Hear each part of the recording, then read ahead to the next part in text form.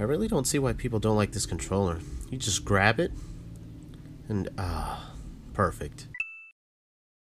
What's up guys, We're here with Seek Find Play, and as you can see I got a pretty interesting mail call today.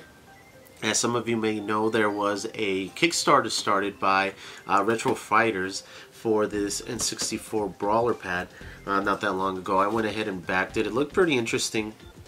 Uh, a lot of people that I know personally uh, backed it as well and uh, I figured I might not just give it a shot. Um, I personally never had an issue with the N64 controller. Uh, the original just it was just fine to me. Although uh, a lot of people do not really like it. Um, a lot of friends that I know really don't like it. Uh, but it's okay. Um, I'm a little biased. It's one of my favorite systems. So but uh, you know I'm not against trying new things and uh, giving these a shot um, also what was really interesting is as you can see it has kind of like a new gen design. Uh, I really like the uh, Xbox 360 and the Xbox One controllers. This kind of has a you know similar uh, style to it so even better. Uh, I ordered a few of these um, and I wanted to check them out. So backers got early access to these and reduced pricing. Um, they also have an option to do um, colored controllers. They sent out a survey to backers and uh, kind of give us a couple of options on what kind of controllers you would like to see. But that should happen in the future and they should be available to everybody. So yeah, now that I got my hands on these, let's go ahead and try them out. Alright, now let's take a look at what we actually got. Uh, here is the box that it came in. Um, it does not have the look of the original N64 boxes, which is okay. Uh, it does kind of remind me of those um, those other controllers, like the Super Pad 64 and the uh, it's like the the driving racing wheel one. Uh, they had this, uh, I guess, this color scheme. That's what it really reminds me of. It shows you the controller on the front, Retro Fighters on the top, right, nothing on the bottom, and then another shot of the controller on the left side. Now on the back, gives you a little rundown of uh, pretty much what it is. Uh, go ahead and pause it if you want to take a look at that. Uh, so other than that, let's move on. Did come with a little manual here. Does not give uh, give too much. Just a little thank you for uh, purchasing.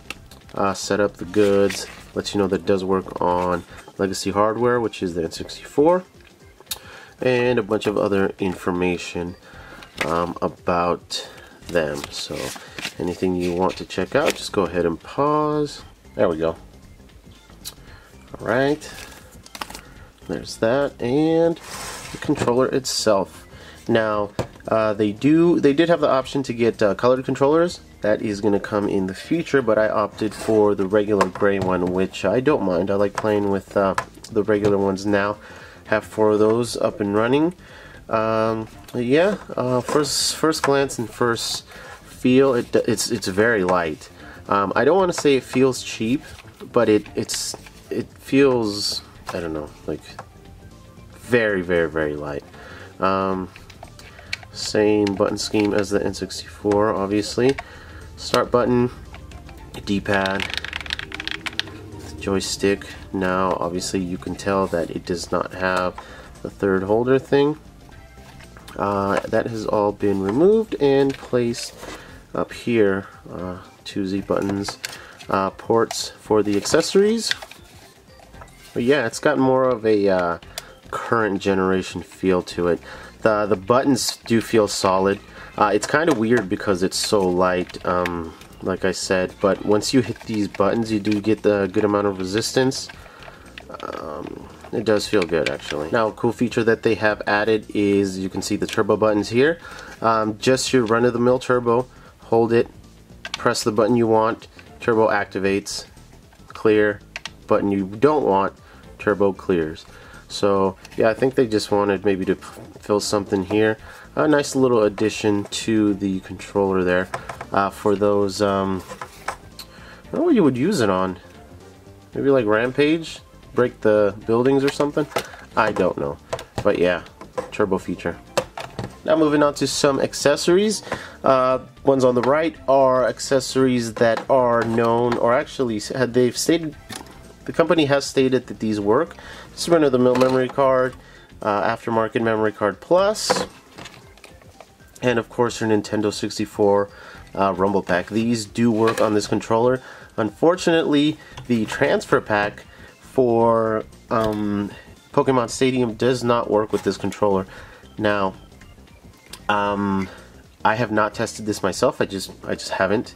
Uh, no real particular reason, but I did receive an email from them stating that it does not work. So um, I'm just going to take their word for it. If you or anyone else wants to try it out and disprove that, feel free to do so and let me know. I'm just passing along the information that was sent to me. So, uh, yeah, Pokemon Stadium Transfer Pack does not work with this controller as far as I know. Everything else should.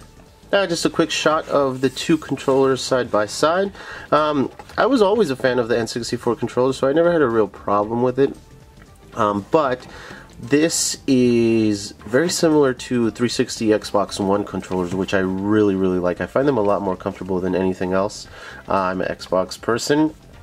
Uh, nothing against PlayStation, they have a very good controller as well, but comfort wise, uh, these controllers, I don't know, they just do it for me. So the fact that they went with this uh, is just another bonus. I mean, I, I like N64 anyway, so um, so yeah, um, I'm actually going to go ahead and try it out. I don't know if this is going to replace this. Like I said, I had no issue with this. This is actually kind of comfortable for me. Uh, I don't mind it at all. I know some people don't though, so essentially that's what this is for. See if uh, this is uh, maybe your controller. So uh, yeah, I'm gonna go ahead and play a couple games with this. I'll let you guys know what I think. Alright guys, so I spent a little time messing around with these controllers, playing some games. I have a stack of games here that I chose for uh, mainly fun and to also try a few things out. Now, a few things to note.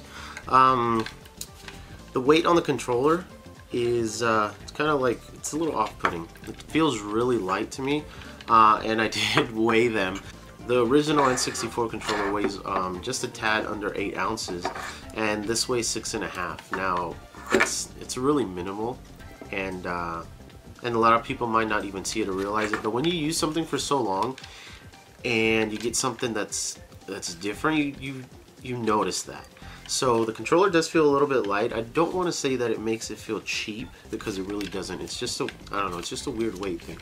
But slap a rumble pack on there, does make up for it. So, you know, these these are personal gripes, personal minor gripes. The controller is awesome. But like I said, I never had an issue with the old one. So, uh, yeah, these are uh, just tiny things that uh, that I found. Also, um, while messing around with it, I do I did notice that the uh, the stick hits the left bumper button, um, which I don't know if it's just uh, on my controllers. I've only opened the two, and it's on both of them, or if it is every single controller.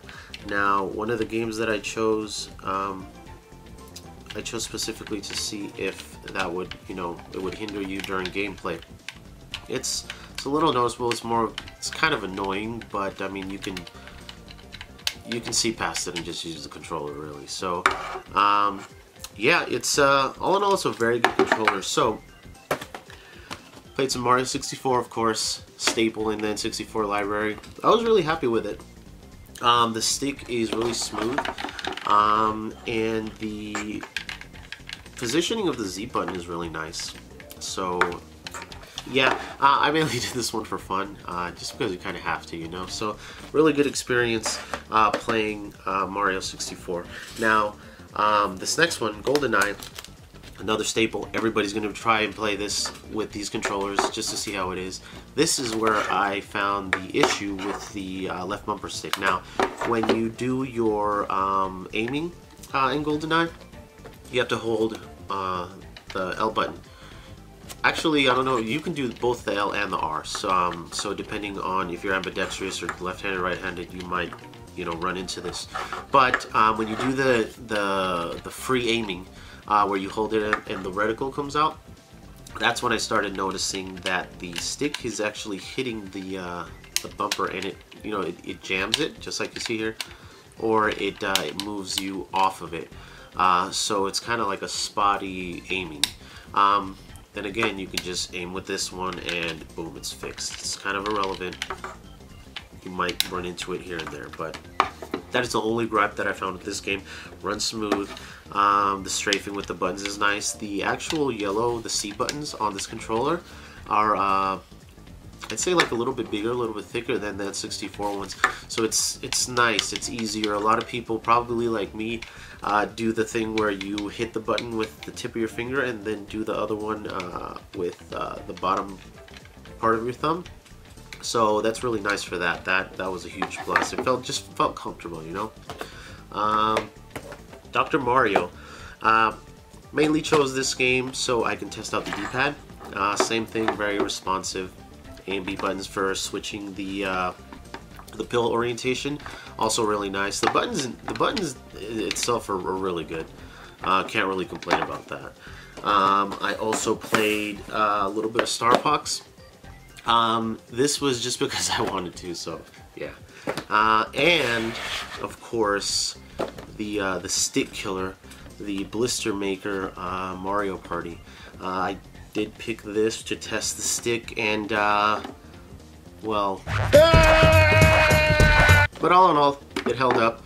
Very happy with it. So yeah, final verdict on this. Um, it's a good controller. I would definitely use it uh, depending on the game. Uh, is it going to replace my N64 controllers? Um, not for every game. Uh, there's certain instances where you do feel very comfortable for this with this. Uh, I don't know if it's just me, like especially in GoldenEye. Um, probably because I'm used to playing all this other stuff. I look for the second stick uh, on this controller. That's how comfortable I feel with it. It's almost like I'm playing an Xbox controller. So I'm trying to move the camera with this and my character with the left stick, but there is no right stick. So the strafing is a little, uh, was a little clumsy. I was a little clumsy. Let me rephrase that. I was a little clumsy with the strafing at first, but you get used to it. Um, it does not work with all the accessories. I think I pointed out that it does not work with um, the transfer pack for Pokemon Stadium. It also does not work with the microphone in Hey You Pikachu. Uh, you, you just can't get, it just won't stay. Um, the memory card that I did use was an official one and uh, that that did work. So I think that is that is it. Oh um, cord length. I don't know the exact length on the N64 cord uh, as opposed to this one but the N64 cord is longer by about a foot. Uh, but as you can see you do get a good amount definitely a few, more than a few feet. So you, you don't have a NES Classic situation where you're right up against the TV. So um, yeah, Retro Fighters N64 Brawler Gamepad. Uh, big thumbs up. If you are able to get your hands on one of these, and I know the consensus is that people don't like the N64 controller, get yourself one of these. Uh, it is going to change your mind you're going to be able to enjoy those games because uh, the system has some good games. You'll be you're going to be able to enjoy them more with this game gamepad. So yeah, uh, like I said, big thumbs up. Uh, I think these are going to be releasing.